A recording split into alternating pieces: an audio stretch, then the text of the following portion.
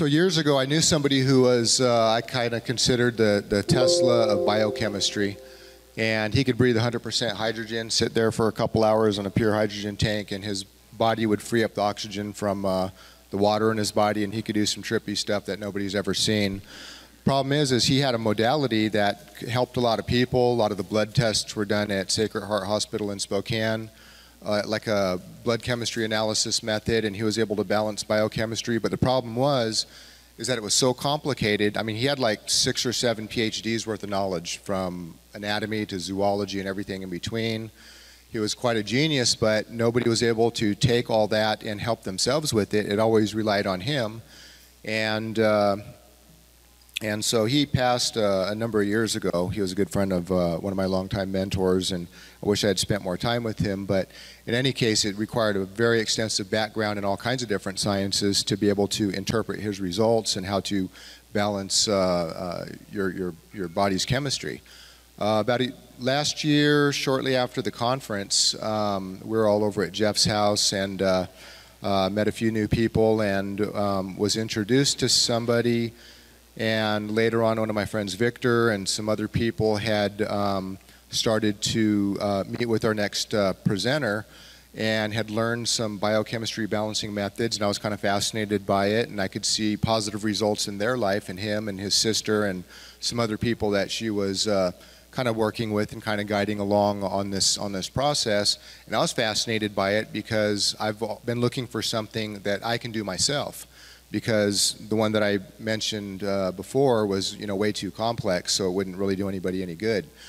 And um, I started to take a look at it. It started to fascinate me a little bit more. Um, uh, I got a copy of uh, uh some books, and there's some downloads you can find online that digs a little bit into uh, what this modality is about but it really is something that everybody needs to learn about and, it, and, it's quite profound. You know a lot of places you go to there's different holistic practitioners. I have a bachelor's of science in natural health owned a health food store worked with a lot of uh, medical doctors who are practicing holistic medicine so i've been kind of engulfed in that whole world for you know maybe 20 20 years or so. And um, but a lot of the stuff that people are doing is you know take a ph strip measure their saliva and that's like about the extent of their you know uh, biochemistry analysis, and it just doesn't cut it. And so what you're going to be learning here is a modality that's very profound, very deep. It's been around for a long time, and our presenter is probably the leading um, uh, authority on this particular method. That she knew the developer of it, who had recently passed, and she's been doing it for about 40 years. And so, out of anybody in the country who knows this inside and out and who's practiced it diligently for about 40 years, um, she has a lot of knowledge to be able to share with you. And again, this is very, very simple. It's something that you can do, and you should definitely let other people in your life know about it because it's, it's very, very empowering. So please help me welcome Katja Gwynn. What our biggest line is in RBTI is hey, doc, what do I do for this? Well, what are your numbers? Because we don't guess. We go by the numbers. The numbers tell us everything. Doc Reams could look at this formula and tell you that you have a tumor the size of a golf ball on your descending colon, could tell you you have any symptom except pregnancy and a stomach ulcer. The best source of pure water is provided by nature. That's what rain is pure distilled water. Unfortunately, today, with our contaminated air. It ionizes with all the contaminants in the air, and after a rainstorm, the air is nice and clean because it's cleaned the air by, by ionizing with all the contaminants. And then we have that all in our water, so we can't really drink rainwater anymore, unfortunately. Um, so we have to redistill it if we want to have pure water as nature intended for us to drink. And um, another argument about distilled water is a lot of people will say, and some of you are thinking secretly and haven't spoken up about it, but there's no minerals. But it leaches minerals. And both are true, and hallelujah for that. We have so much junk in our body, or we would have pure, clean, soft skin with no, no outbursts and no nothing showing. We wouldn't be wrinkled, we'd be full hydrated cells. Wrinkles are dehydrated cells. The pHs, when they're out, it shows us mostly the, the, the mineral deficiencies. By weight and by volume, calcium, phosphates, and potassium are the three primary minerals. Almost everybody is deficient in some or all of them, and we replace them uh, with supplements, supplementation. The conductivity number is uh, almost, I've never tested anybody who had a decent conductivity. Everybody is too high in mineral salts, too high conductivity, too high strung, too dehydrated. It's all the same thing. It all shows up in the conductivity number. The cell debris tells us how quickly the cells are dying.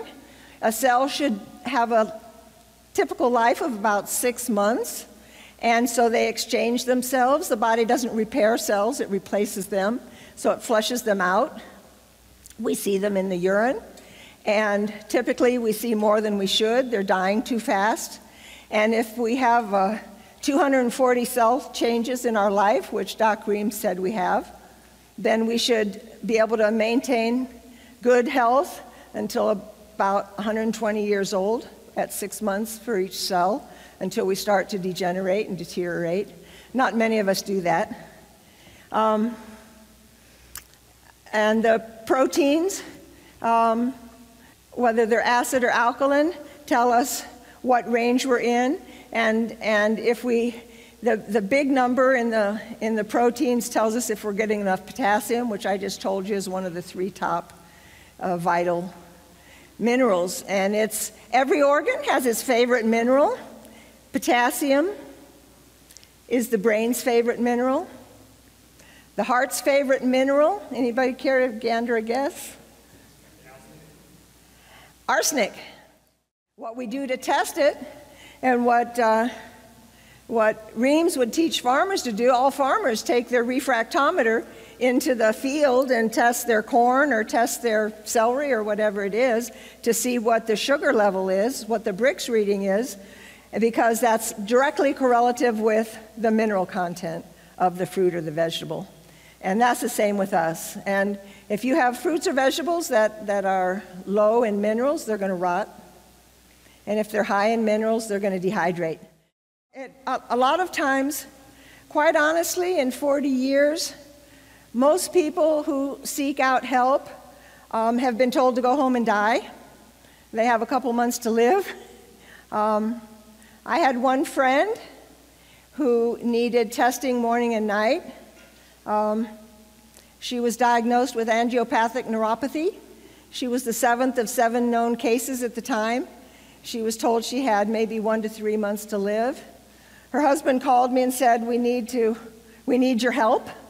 And um, and so I met him after work. He was a school teacher, and we stood there in the parking lot after school talking. And he said, "Well," I said, "You're going to have to do this together, or I'm not going to uh, teach you anything. I'm not going to accept you as my students." He said, "Oh, but I'm perfectly healthy," and he had gray hair, and he wasn't 40. That's mineral deficiency. So I could teach him how to test himself. So they could test themselves twice a day, morning and evening. His wife was home on the sofa. She crawled to the toilet every day, once a day, and that was the whole of her exercise.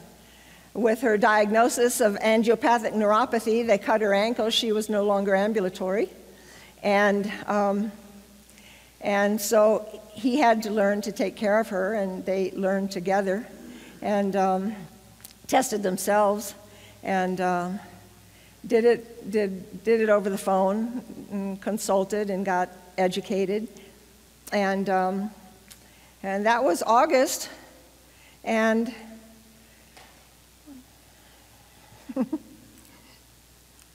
she wanted to walk by Christmas. She didn't think she was going to live to September, but uh, she didn't. But she walked by New Year's. And she learned the program so well that she went on and became a practitioner, has helped many, many, many people.